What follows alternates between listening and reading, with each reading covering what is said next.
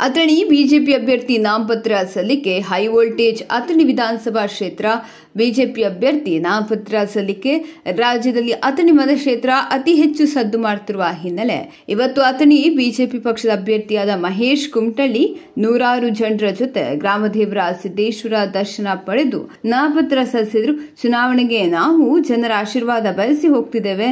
ನಮ್ಮನ್ನೆಷ್ಟೇ ಮತಗಳಿಂದ ಗೆಲ್ಲಿಸಲಿ ಮತದಾರರು ನಮ್ಮನ್ನೇ ಗೆಲ್ಲಿಸ್ತಾರೆ ಎಂದ ಕುಮಟಳ್ಳಿ. ನಡೆಯುವಂತಹ ಈ ಒಂದು ವಿಧಾನಸಭೆ ಚುನಾವಣೆಯಲ್ಲಿ ಭಾರತೀಯ ಜನತಾ ಪಕ್ಷದ ಅಧಿಕೃತ ಅಭ್ಯರ್ಥಿಯಾಗುವಂತಹ ಅವಕಾಶವನ್ನು ವರಿಷ್ಠರು ಮುಖಂಡರು ನಾಯಕರು ಕೊಟ್ಟಿದ್ದಕ್ಕೆ ಧನ್ಯವಾದಗಳನ್ನು ತಿಳಿಸುತ್ತಾ ಇವತ್ತು ನಾವು ಅಥಣಿ ಮತಕ್ಷೇತ್ರದಲ್ಲಿ ಇರ್ತಕ್ಕಂಥ ಎಲ್ಲ ಹಿರಿಯರು ಗಣ್ಯರು ಪಕ್ಷದ ಅಭಿಮಾನಿಗಳು ಜನರ ಆಶೀರ್ವಾದವನ್ನು ಬಯಸಿ ನಾವು ಚುನಾವಣೆಗೆ ಹೋಗ್ತಾ ಇದ್ದೀವಿ.